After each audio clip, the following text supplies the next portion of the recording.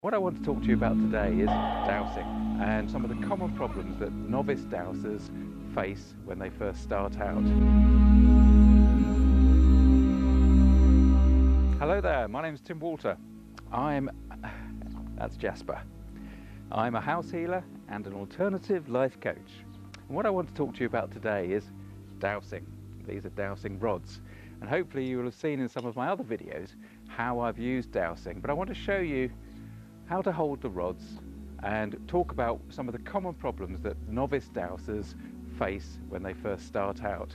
Because sure enough, like most things, we all share the same problems. Now I'm going to do this in several sections in this video and the first section is called how to dowse for absolutely anything.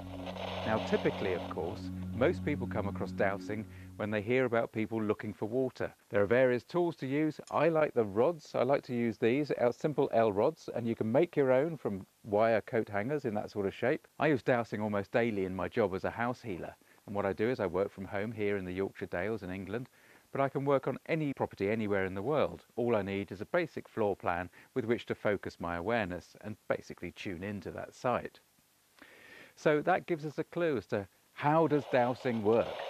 Well, we don't know for sure, but it seems most likely that it is actually a subconscious process. Now, a lot of people, of course, dismiss dowsing, and actually it's the very term that a lot of these critics use to dismiss it that actually I think is how it works. Critics that work from a scientific method say, well, you, you're not dowsing, that's, you're making that move. But the key to a good dowser is actually removing themselves from the awareness of rods moving and allowing the subconscious to actually take over. Now the subconscious muscular movements are called the ideomotor effect. I believe that's how it's pronounced. I believe it's id from the psyche, uh, motor obviously to do with the muscular movement uh, of the body. That the subconscious is picking up information from the zero point field, probably from the quantum field, that is, the zero point field, and then the allowing the stimuli to go through to mus tiny muscular movements in the arms and wrists and the hands to actually enable the rods to move. And of course, the other thing about that theory, if that is the way that dowsing works, is that it ties in with a lot of spiritual thinking, where it says that we are one in mind. Because a lot of the information we can pick up using dowsing is only attainable through this sort of mind-body process. How to hold your dowsing rods. These are the rods that I use. These are um, typical L-shaped rods, but they're a bit heavier than you would normally find in most shops. These were made for me by my mentor, Hamish Miller. Um, he was a blacksmith and he made a lot of these for a lot of different people. Now, what you do when you're dowsing is basically hold them out like a couple of six shooters right in front of you, two rods at a time. Ideally start off nice and relaxed in the shoulders, bring the hands up, ask a question such as, am I standing up? and the rods will respond. There we go, yes. They'll come together for a yes, that's me now moving them manually. Come together for a yes, and they'll come apart for a no. That's usually the way it is. First thing, as a novice dowser, first thing you'll find is when you start, now I'm going to do these manually, okay? When you start to dowse, you may find that just one, the edge of it one, little bit like that, just moves slowly and gently and gradually, hardly any response at all. That's absolutely fine. Don't focus on the rods themselves when you ask a question. Ask the question, focus on the question.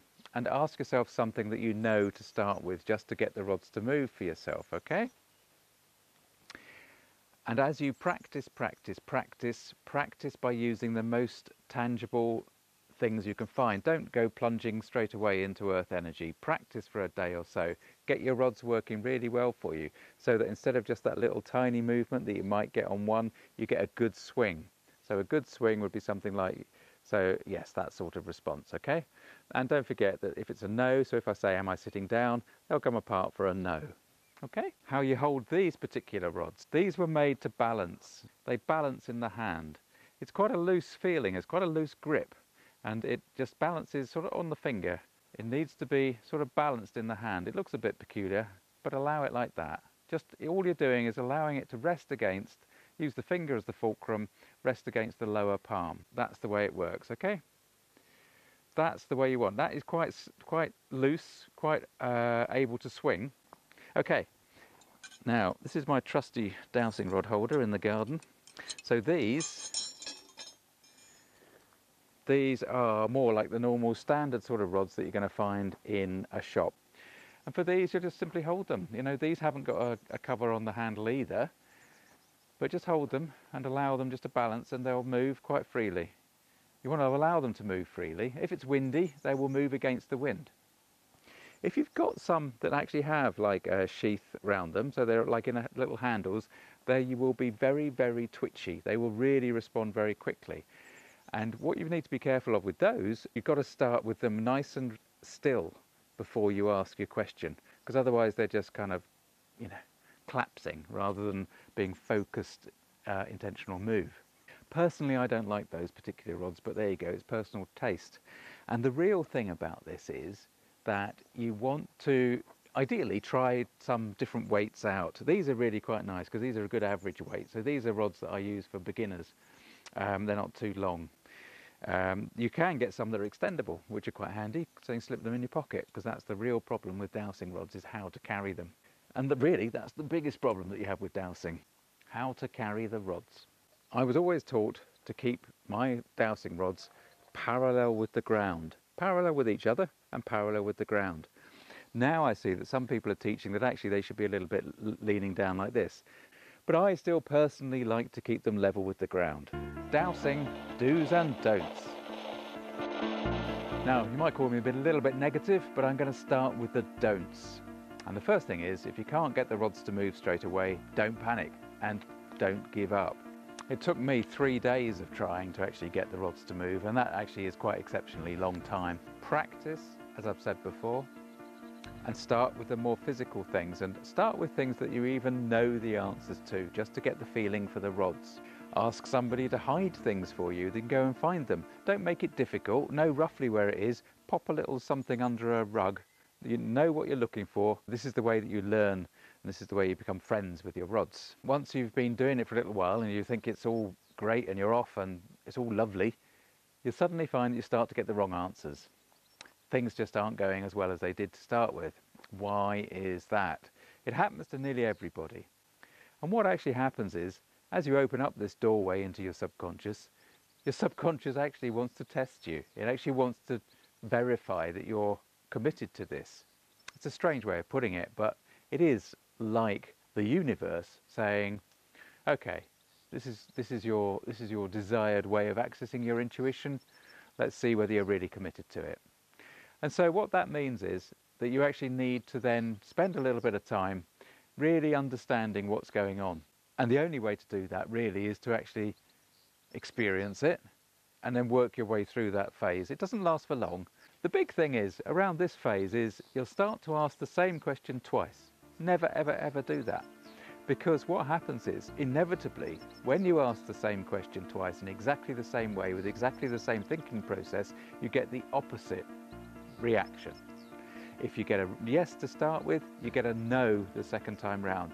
It happens all the time. Now, I have a theory about why that might be, but I'm not going to share it here. I'll share it in another video at some stage in the future. Now, some things that you should do, some do's. We've done the don'ts, now we've got the do's. Do practice. Practice, practice, practice, practice. Practice with different types of dowsing. Practice a little bit of map dowsing, a little bit of remote viewing with your dowsing. Practice a little bit of spiritual dowsing if you want to. We discussed that in other videos. Practice with timing. Practice asking questions Practice asking questions of what might happen in the future. Those are tricky. Practice finding things. But above all, just come back to the type of dowsing that you feel most comfortable with. Practice finding water, for example. Practice with earth energy. If you're with somebody else, they can verify your results as near as damn it, although you're living in your own subjective realities. Be aware of that. But the key thing is here with dowsing is that you have to allow your mindset to change. You need to be in the meditative mindset. So your brain needs to actually change frequencies to allow the intuitive side to come across. It's not about just dropping into a theta mode or a beta mode or whatever. Have a look at the video that's about brainwave patterns elsewhere on my channel and you'll see what I mean. It's about allowing the dowsing mindset, the healing mindset, the channeling mindset to be prevalent so that the dowsing can work. Dowsing is a very safe way to access the power of your subconscious and your intuition. And when we access the subconscious and intuition, then we can achieve change because it, we become mindful, we become aware of how the subconscious is working in our life, and we consciously change our choices. And this is where dowsing can really help us maneuver and act as a really good mechanism for wellness. We're in this age where science and spirituality are merging. And you know, over the years, I've met quite a few science-based logical thinkers that are actually very keen dowsers. And they are the ones that have said to me, it doesn't matter how it works. If it works, just use it. And I can guarantee you that if you try dowsing, you're going to find it's really, really helpful in your life. And if you've got any questions about it, let me know.